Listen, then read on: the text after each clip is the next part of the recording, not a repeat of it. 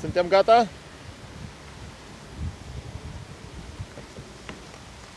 Suntem gata, da?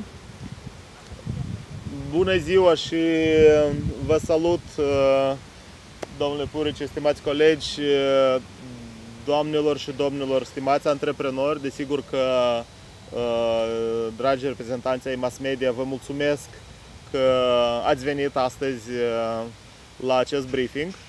Uh, și cred că o să încep prin a spune cum ne-am întâlnit un an în urmă.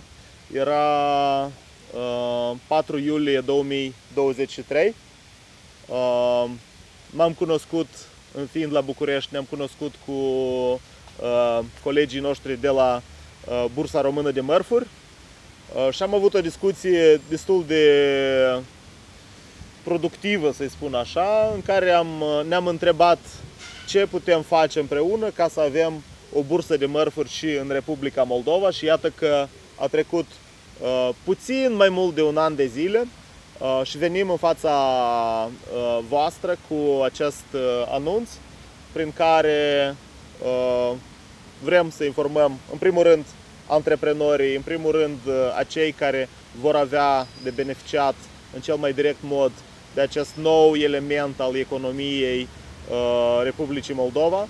Uh, foarte curând, în uh, câteva săptămâni, deja o să avem o bursă de mărfuri, bursa română de mărfuri din Republica Moldova, din Chișinău, de plin operațională, ca să servească intereselor și necesităților antreprenorilor, instituțiilor publice.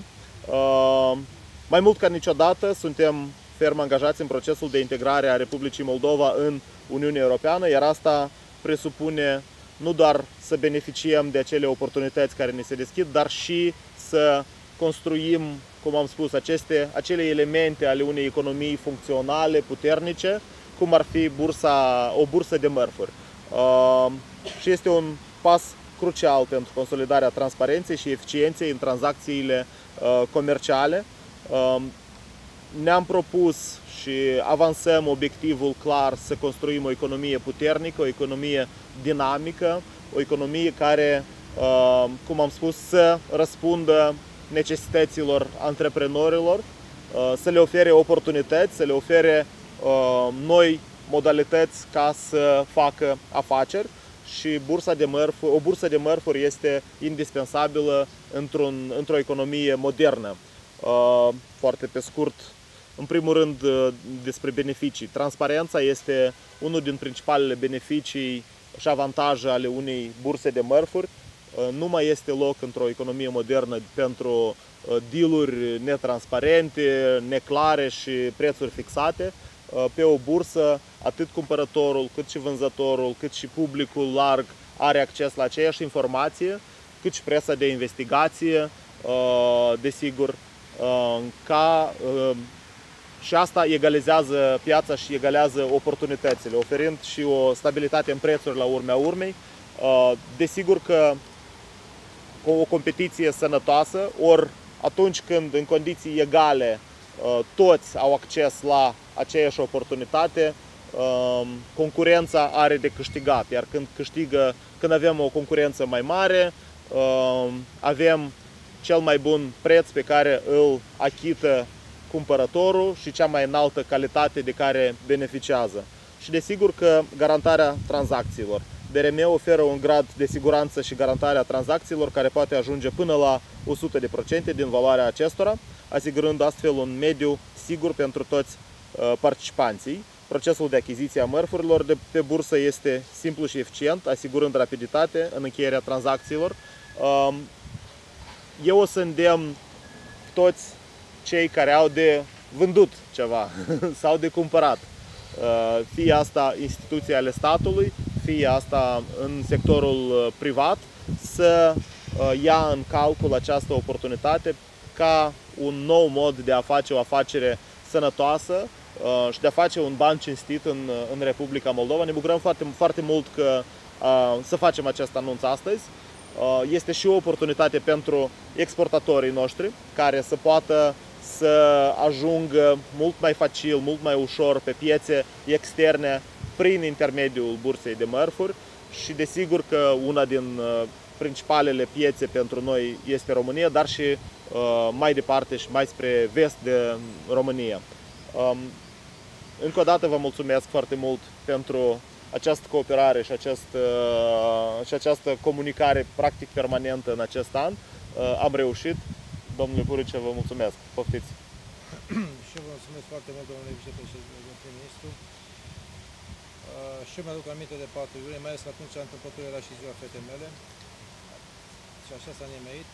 Ați venit la noi la București, ne-ați v-am împărtășit din experiența pe care o avem pe piața românească în domeniul achizițiilor publice și nu numai și în partea de tranzacționare pentru produse fungibile. Realmente suntem uh, foarte plăcut surprinși de faptul că numai după un an de zile s-a reușit acest proces care n-a fost simplu, mai ales că a implicat și niște și multe modificări uh, legislative și totuși iată-ne astăzi aici, într-adevăr, cu uh, o brusă funcțională. Deci modelul legislativ este, uh, care l-ați urmat și care și noi vi l-am recomandat este model european. Deci pe lângă celelalte sisteme de achiziții publice, produsele fungibile pe legislație europeană pot fi tranzacționate și pe burse de mărfuri și s-a dovedit numai în România și, și în alte și în celelalte țări că este cea mai eficient, uh, uh, cea mai eficientă modalitate de a tranzacționa. Evident, așa cum am spus, este vorba de transparență, este vorba de competiție, este vorba de prețurile cele mai bune care pot fi obținute prin acest sistem. Uh, avantaje care le oferă sunt, uh, evident, uh, deci pe lângă faptul că se face o publicitate, este o bază de date cu toți participanții la, pe, pe fiecare produs în parte, aducem cele mai bune firme în domeniu în competiție. De Avantajul principal este că ele sunt puse după aceea prin procesul specific bursier de negociere continuă într-o competiție clară și în final câștigă cel care în aceeași sesiune uh, prezintă prețul cel mai bun și cele mai bune, cele mai, deci evident cele mai bune avantaje comerciale. Ne adresăm uh, autorităților contractante care în România beneficiază din plin de acest uh, sistem, e vorba de toate ministerele mari, e vorba de uh, societăți uh, de, de transport, este vorba de primărie, este vorba de regii de apă și așa mai departe. Uh, toți s-au învățat cu acest sistem și tranzacționează prin BRM. Este o procedură și rapidă și, evident, și mult mai competitivă. În, uh, în bună măsură ne adresăm, evident, și mediului privat, care uh, va avea ocazia să vină să-și prezinte, uh, să, să-și tranzacționeze produsele, să le și în final să-și comercializeze pe un sistem uh, Uh, transparent și, pe de altă parte, încercăm să oferim și posibilitatea de a deschide aceste, piața românească pentru aceste firme, astfel încât să beneficiind de acest sistem să poată tranzacționa și pe, și pe, uh, pe, pe, pe, pe, pe bursa din România. Um, suntem, suntem efectiv încrezători, suntem bucuroși că s-a reușit să, așa de repede să ajungă aici. Noi suntem alături de de piața din Moldova, operăm și pe piața de gaze naturale în momentul de față. Am reușit în 2 uh, ani de zile să o dezvoltăm și să o aducă la un stadiu uh, cu o lichiditate destul de interesantă în momentul de față și ne bucură că reușim să extindem portofoliul de afaceri de aici și pe acest domeniu care realmente este un domeniu important și pe care în România numai BRM-ul operează și realmente cu, cu succes. În continuare vom fi alături de dumneavoastră și ca instituții publice și ca mediu privat pentru a promova uh, un, uh, un mecanism care într-adevăr asigură niște avantaje evidente. Vă mulțumesc! Și noi vă mulțumim și bine ați venit în Chișinău și oficial. Nu e prima dată și nici ultima dată. Mulțumim frumos! Vă mulțumesc! Dacă sunt întrebări. Dacă nu sunt...